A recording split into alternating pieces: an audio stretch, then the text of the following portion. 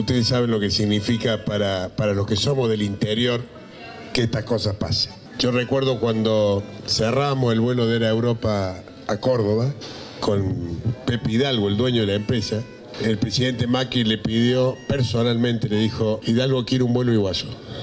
Y ahí empezamos, lo trajimos.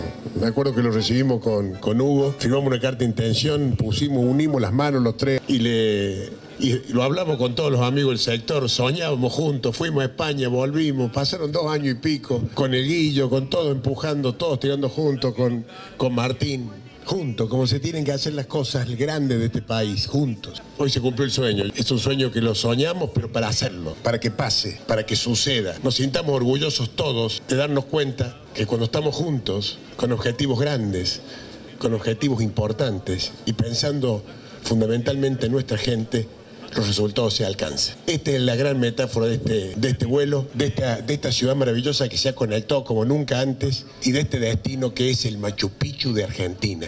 Este es el ícono del turismo argentino. Fue frustrante el tema de conectar Iguazú con el mundo, siempre fue frustrante. Estamos como capturados, digamos, por, por el tema del cabotaje. Este aeropuerto se llama Aeropuerto Internacional. Yo siempre decía, ¿por qué? Hoy es así. Pero no es solamente un tema que, uy, qué lindo tenemos, eh, recibimos primero, todos asistimos a un, momento especialísimo del turismo eh, eh, misionero recibiendo por primera vez pasajeros que vienen de afuera.